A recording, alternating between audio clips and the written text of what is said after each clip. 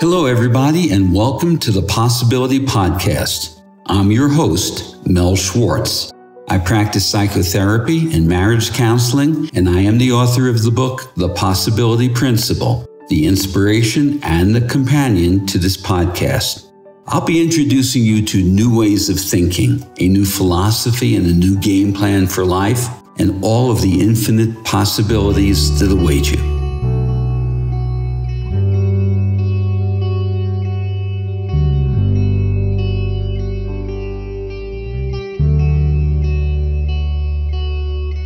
Hello, everybody. I'm going to explore and more honestly, eviscerate and rip apart the terms mental health and mental illness.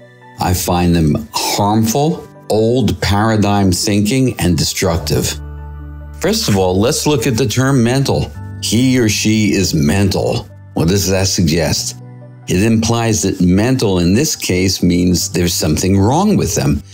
When you look up the word mental, you'll find that it may refer alternatively to your intellect or to your feelings as though they are separate. We have to step back and look at this whole philosophy of psychology and really, really understand that we're operating from a very old paradigm of dysfunction. It doesn't really speak to wellness. By the way, where is mental located? Can you point to it?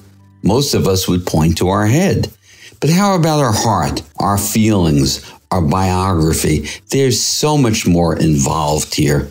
So I'm going to propose that we need to change this term, mental health or mental wellness. Change it to what?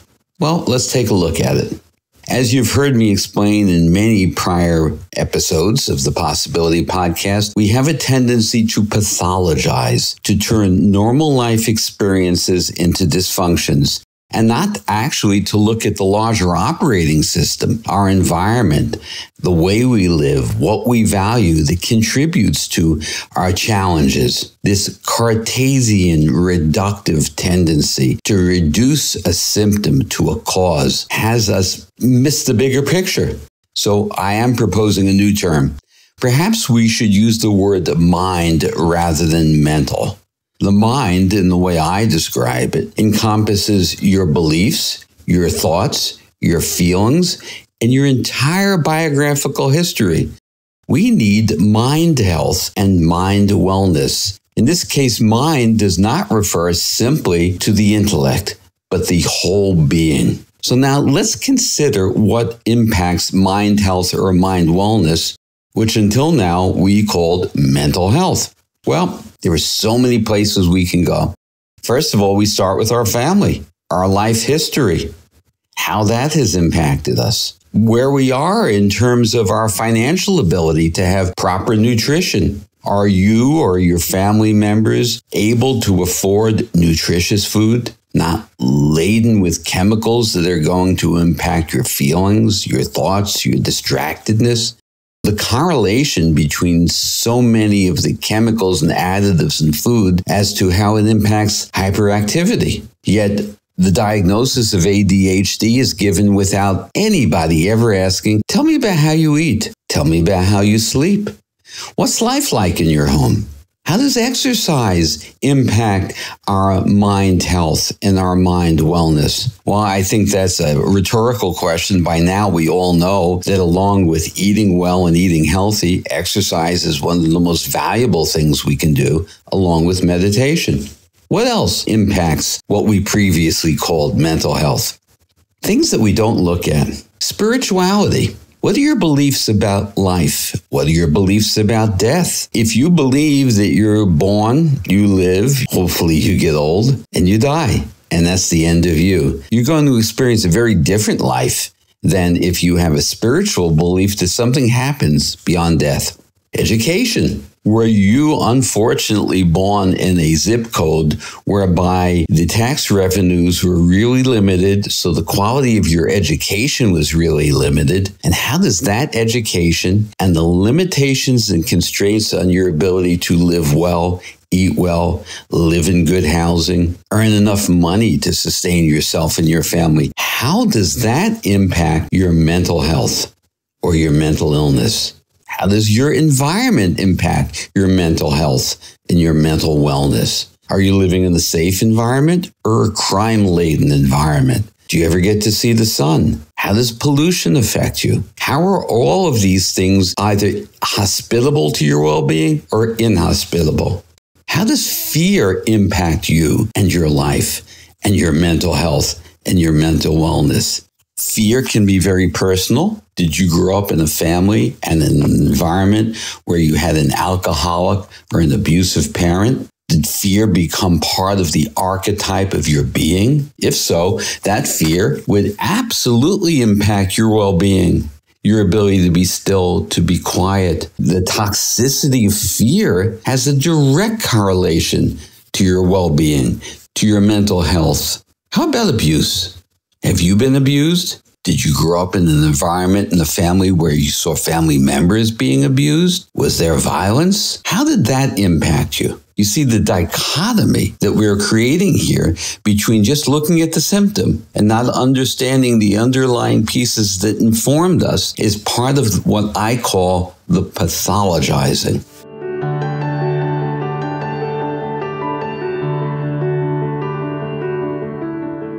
I'd love to show you my appreciation for your subscribing to and rating this podcast by offering you a gift to one of the following. The Power of Mind, a live talk that I gave, or one of my digital ebooks, Creating Authentic Self Esteem, Overcoming Anxiety, or Raising Resilient Children and lastly, cultivating resilient relationships. Once you have subscribed, please send an email to mel at melschwartz.com and just let me know which gift you'd prefer. Thanks. I'm going to share a story with you about what happens when we reduce a human being to a diagnostic term and don't look underneath it. I had been working with a man in his early 20s. Let's call him Timothy. He had shared with me that he had felt severely depressed his entire life. He was isolated, borderline suicidal, and he dropped out of college. And when we reviewed the history of his therapy, he recounted a detached and mechanical series of interventions all of his psychologists and psychiatrists diagnosed him and medicated him. They said the best he could do was to try to manage his depression. They were contributing to his belief that he was a damaged human being, mentally ill. First, I tried to understand on an empathic level what this word depression felt like for him. I wasn't so much interested in the clinical term, but what this word signified for him. He shared a traumatic period early in his life when his alcoholic father was emotionally and verbally abusive. This created a confining wave collapse. Remember, for me, wave collapse is a quantum term that expresses why our identity literally collapsed and became confined. So, having this wave collapse of an, emotionally and verbally abusive alcoholic father helped him develop a coping mechanism. Timothy's coping mechanism helped him compensate for feeling at risk. You see, rather than feeling at risk to feel safe, he had to insulate himself in a womb like protection. He literally protected himself from disengaging life in relationships on any intimate level. He did that early in life to protect himself from an abusive father, but that coping mechanism remained rigid in him. He began living a reclusive life. He avoided any interpersonal contact whenever he could. He never got to enjoy friends, hobbies, sports, and he isolated himself into young adulthood. I said to him, living life that way would mean feeling depressed would make perfect sense. Why wouldn't he be depressed? He was barely living. His depression was symptomatic of his lifeless experience. Given his previous therapies, I presented him with a radically new belief.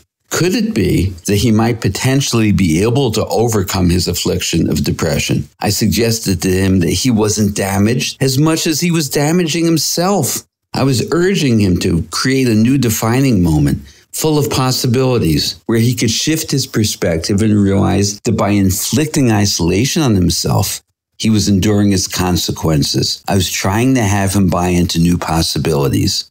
His recurring thought, there's something wrong with me, just affirmed his whole history of therapy. It became a self fulfilling prophecy. Something was indeed wrong with him. His primary beliefs and ensuing thoughts denied him a reasonable life. Thankfully, he was open to reconsidering his core beliefs. Instead of saying, I am a damaged person, I had him say, I keep having the same thoughts that keep telling me I'm damaged. Well, Timothy is now employed. He's graduated college. He's got a great job and he's beginning to enjoy some friendships.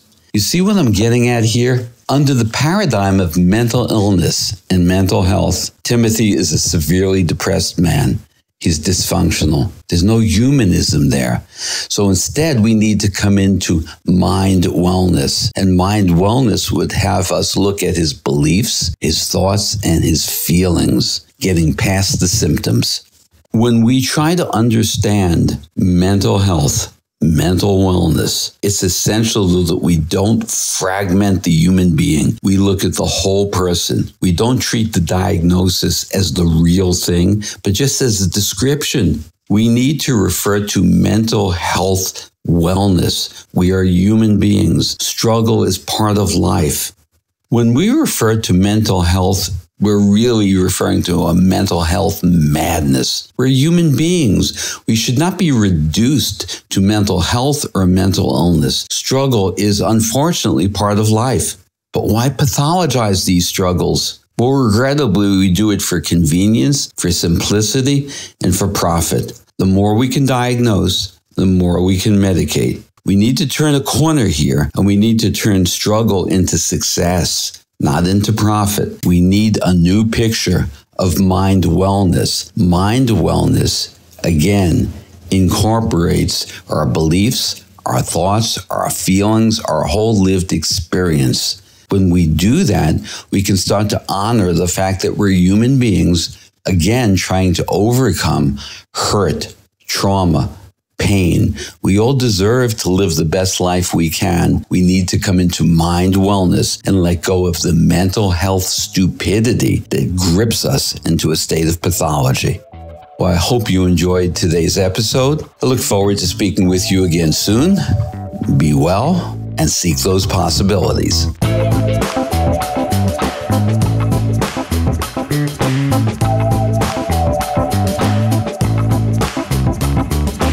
I hope you enjoyed this episode of the Possibility Podcast, and I welcome your feedback on this or any episode. Please send me an email at mel at melschwartz.com or leave a comment in the show notes for this episode at melschwartz.com. If you like what you're hearing, Please take a moment to rate and review the show at Apple Podcasts, Spotify, or wherever you get your podcasts. Your reviews really help boost the visibility for the show, and it's a great way for you to show your support.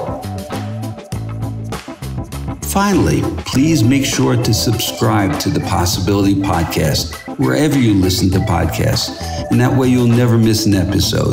And thanks again. And please remember to always welcome uncertainty into your life as you embrace new possibilities.